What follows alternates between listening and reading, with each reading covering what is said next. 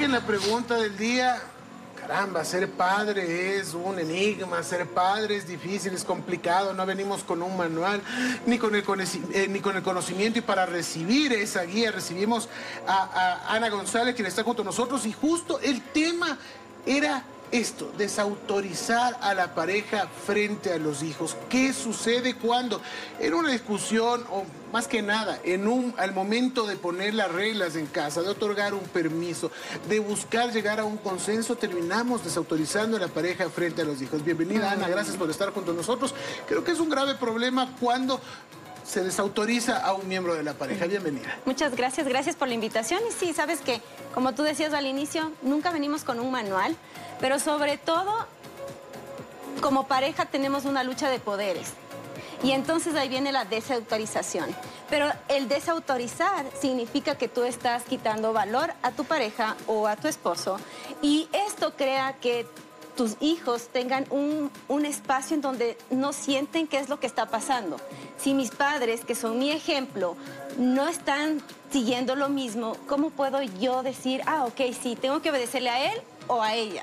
Y esto es por qué nosotros nos desautorizamos mutuamente, ¿no? Porque queremos que yo quiero que mi hijo vea que solamente yo estoy a favor de él y que el papá es malo o que la mamá, no, la mamá es la fuerte y, y ahí no estamos creando este ambiente para nuestros hijos de seguridad. Es súper triste de verdad que suceda esto, ¿no? Porque somos una pareja, somos un equipo. Como decíamos al inicio del programa, no es que vamos a estar de acuerdo en todo, porque definitivamente eso no va a suceder, pero el acuerdo al que tenemos que llegar tiene que ser sin que nuestros hijos estén ahí. Si esto está sucediendo en casa, si no sé, él o ella están haciendo esta clase de, cosas de desautorizar a, los hijos, ¿cómo yo hablo con mi pareja para tampoco tener este inconveniente, pero sí decirle que estas cosas se tienen que hablar atrás cuando estemos solamente los dos y delante de los hijos, pues sí, o qué debería ser, Anita, ¿qué es lo que nos aconsejas tú? Si está pasando algo así en ese momento, yo me quedo callada para no agrandar la discusión, pero después sí decir, a ver, ¿qué pasa? Esto no puede suceder delante de nuestros hijos. Y eso es muy normal eh, eh, como papás. ¿Por qué? Porque tú no puedes estar de acuerdo. Tal vez para ti lo que tu hija hizo, lo que tu hijo hizo no fue tan grande como tal vez para el papá. ¿Por qué? Porque el papá vino arrastrando los problemas de la oficina, vienes con las cargas de la casa, de los problemas, de la parte económica y pasó algo que lo único que hizo el papá fue explotar en ese momento. Entonces, ¿qué es lo que pasa en ese momento? Sí, a veces como mujeres es, no, pero es que de gana te exaltaste, de gana le dijiste así. Pero lo que ahí estamos haciendo es que nuestros hijos no puedan ver la autoridad que ellos tienen, que nosotros tenemos como papás. Entonces, sí, aunque tú no estés de acuerdo, lo que yo siempre recomiendo es que lo converses después. Y cuando tú lo conversas después y tú puedes traer tu punto de vista, porque es verdad, mi manera de ver no es la misma que mi esposo, el mismo hecho de ser hombre y mujer, ya lo ves completamente diferente, pero sí puedes decirle, mira, ¿qué te parece si mejor vemos de esta manera?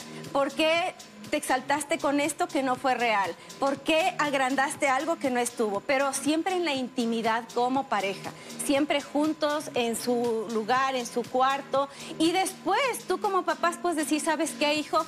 Quiero pedirte disculpas porque no fue un buen día para mí y esto fue como me desahogué contigo, pero tu mamá tenía razón. Teníamos que ver esto y hoy sí quiero pedirte disculpas, porque a veces creemos que la autoridad es el autoritarismo y tengo que mantenerme así porque luego no me va a tener autoridad. Y no significa eso.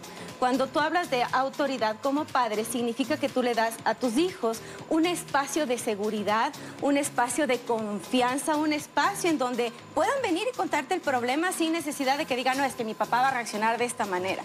Entonces, lo importante es que sepas reconocer y que no está mal que te equivoques como papá. Y es que solamente no ocurre el tema de, de, de, de que invalidas la, opinión de la otra persona, sino que también comienzas a invalidar sus emociones, también invalidas también sus pensamientos, sus ideas, o sea, no es solo desautorizar con ciertas cosas, sino también ocurre con muchas emociones, como que mamá está así, no, es que tu mamá está así porque tal cosa, eh, tu papá así, y justificas, invalidas también muchas cosas, hasta inclusive ideas, a mamá da una idea para tal cosa y papá dice, no, esa idea no sirve para nada, entonces es muchas cosas, no solo la autoridad, entonces es importantísimo siempre caer en cuenta en eso.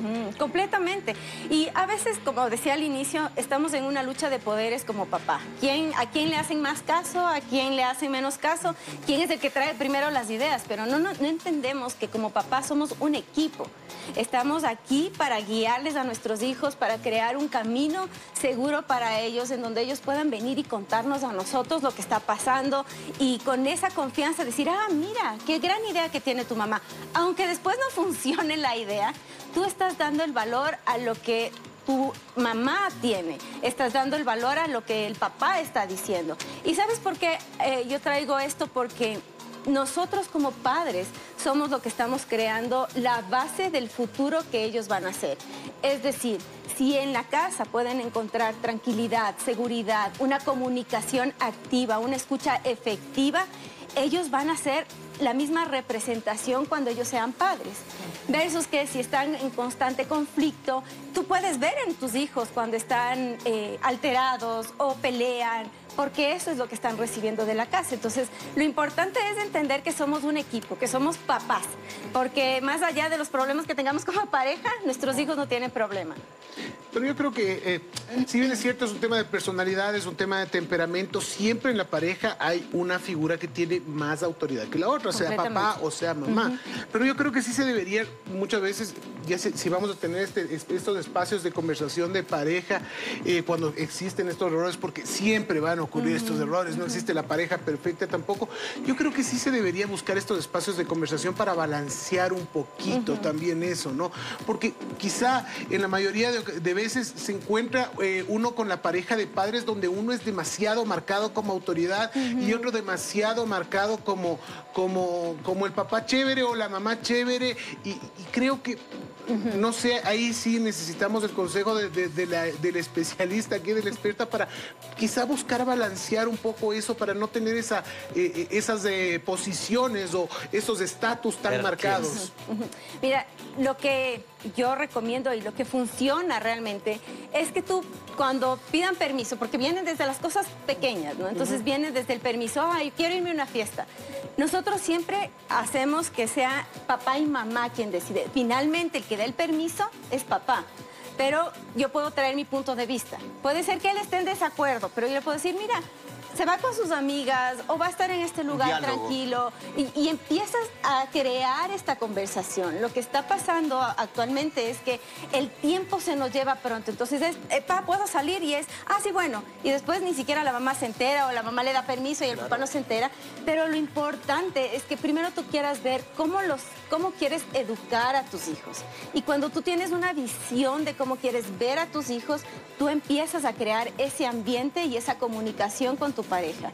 Y ahí es cuando es difícil, es difícil porque no estamos de acuerdo, pero lo importante es que no es el estar de acuerdo o no estar de acuerdo, es saber qué es lo que haces para que tus hijos puedan estar en un espacio seguro. Ana, yo creo que esta, esta, pregunta también es clave porque estábamos hablando ahorita de una familia que está junta, pero ¿qué hacer cuando papá y mamá están divorciados? La desautorización es mucho más, fuerte, ahí y no se pueden hablar como para decir, mira, les autorizaste, se vuelve mucho más fuerte, hasta inclusive se vuelve como moneda de venganza los hijos y los autoriza tu mamá no tiene. En realidad, y, es una realidad que vivimos, las parejas están divorciadas, muchas familias están separadas. ¿Cómo manejar esta situación de la autorización en este y caso? Y acotar también a eso, creo es que los hijos son súper inteligentes. Claro. Entonces saben, papá si me dan permiso, mi mamá no, entonces mejor yo me voy a pedirle acá, pero el otro no sabe. Entonces, si lo que tú mencionas es súper importante, se vuelve súper complicado. Y sabes que como papás no entendemos que el estar divorciados o separados es un problema de pareja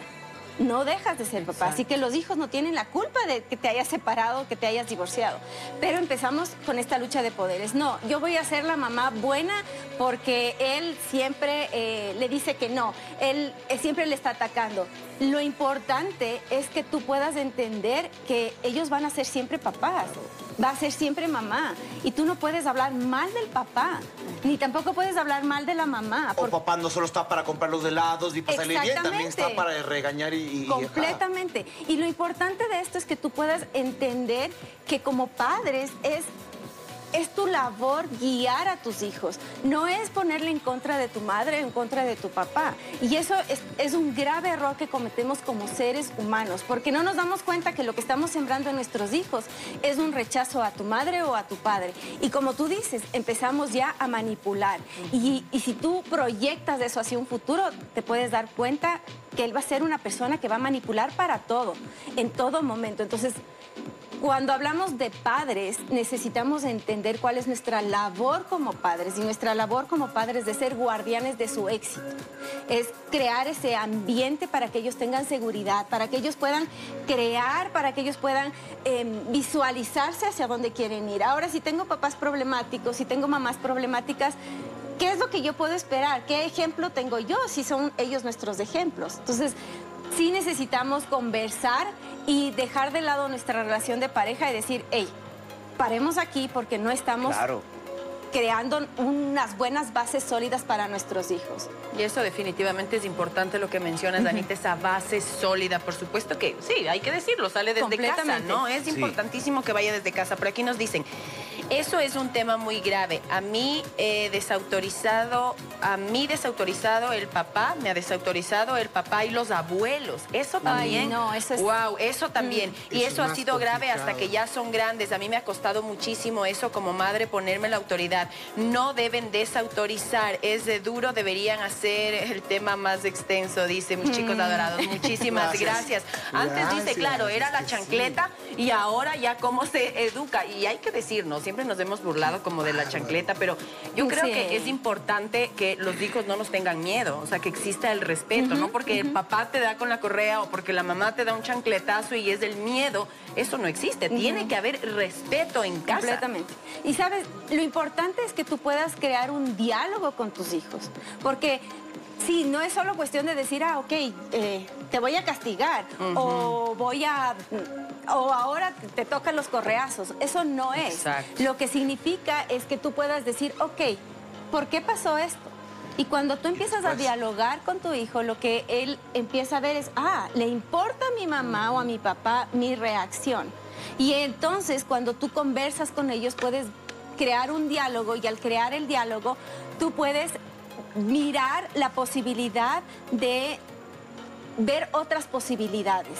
Y, y esto de la desautorización desde los abuelos, mira, Uy, eso tienes que entender que tú eres el papá y la mamá. Y si eres una mamá soltera, tienes que entender que tú creas la cultura de tu hogar.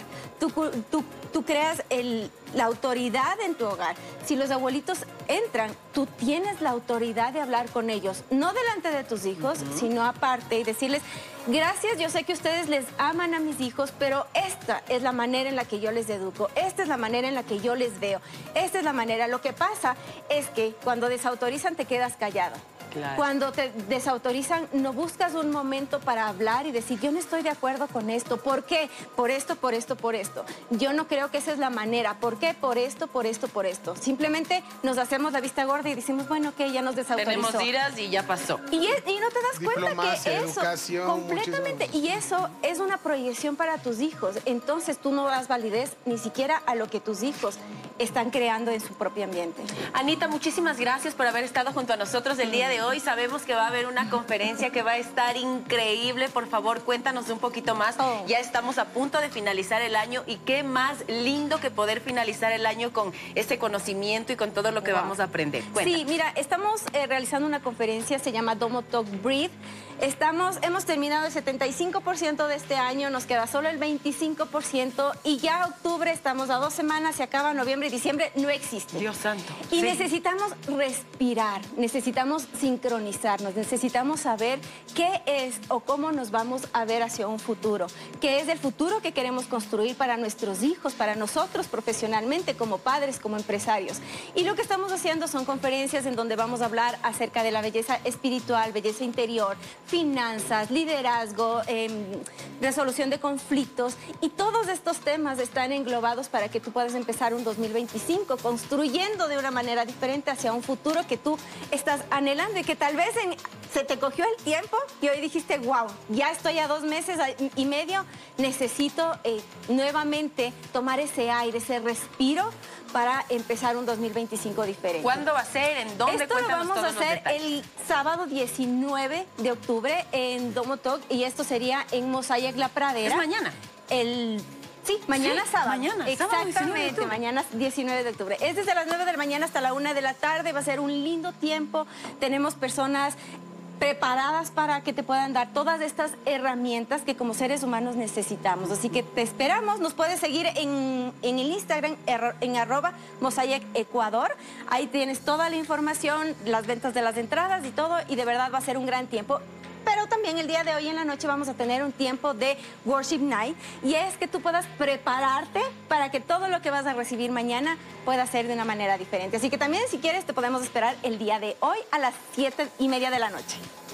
Maravilloso, definitivamente un aporte eh, increíble que acabamos de recibir, insistimos, ¿no? Qué complejo es esto de ser padres, pero para eso están los expertos, ¿no? Para irnos guiando y para crecer todos de la mano día a día, hora a hora. Ana eh, González estuvo junto a nosotros, lo acaban de escuchar, la propuesta es para hoy, es para mañana también y aquí crecemos todos juntos con estos grandes invitados también.